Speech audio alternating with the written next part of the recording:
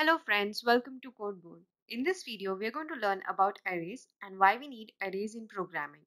So let's start by understanding what are arrays. If we talk about the definition, arrays are collection or group of similar things. For example, if you have collection of books, you call it array of books. Or you can have array of glasses and so on. So similarly, in programming, you have arrays of numbers, characters, etc. Let's understand this with an example. Suppose you want to buy 10 books from a bookstore. Will you go to the bookstore and buy one book, come back home again and go for another book? You won't go 10 times for 10 books, right? Instead, you will take a bag, put them all in a bag, and then read one by one when you want. Now, this bag is an array, and we need a bag to carry, store, and access books. Similarly, in programming, we need array to store, access, and search similar elements. Let's see how.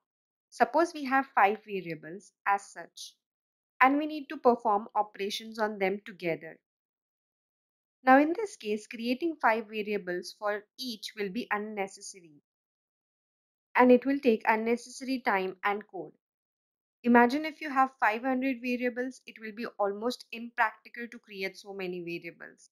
And that is the reason we store them together in an array. If you store them in an array, it is very easy to access elements by their index. Index, as you can see here, starts from 0 up to the size of array minus 1. So for array of size 5, index will go from 0 to 4. And for example, if you want to access second element, it will be at index 1, third at index 2, and so on. One more use of array is, if you want to search a particular element amongst many elements, it becomes easy.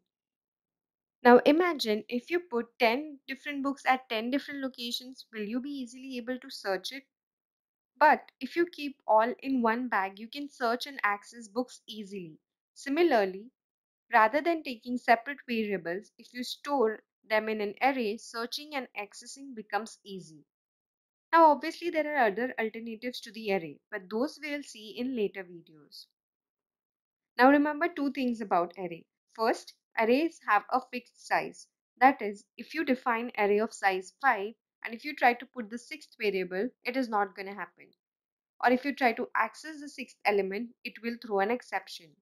So arrays have fixed size. Second thing is that array can only have similar data types. You cannot add characters in integer array. For example, if you have numbers from 1 to 5, this is an integer array. You cannot add character in this you have to have a different array for characters. So how to initialize, define array, etc. we'll be seeing in the next video. But I hope you understood the concepts of array and why you need arrays. So let's summarize this once. So arrays are collection of similar things. So they can have only similar data types. You cannot have characters in integer array or vice versa or any other type in the integer array. Arrays are of fixed size and if you have defined a size of any array as 5, you cannot add the sixth element in it. Arrays can be single dimensional or multidimensional. In this video, we have understood single dimensional. Multidimensional we'll study in the upcoming videos.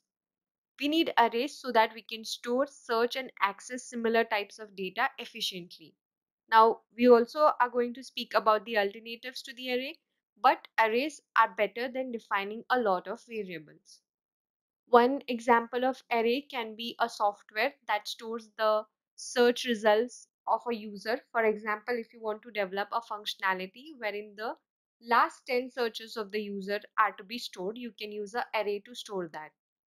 So in similar ways, if you want to manipulate or perform operations on a lot of numbers, you can store them in array and use it and the numbers can be accessed, modified or deleted easily. So this is the basic use of array. How to initialize and use array in programming we'll see in the next video. So until then stay tuned and subscribe to our channel and also like and share this video. Thank you.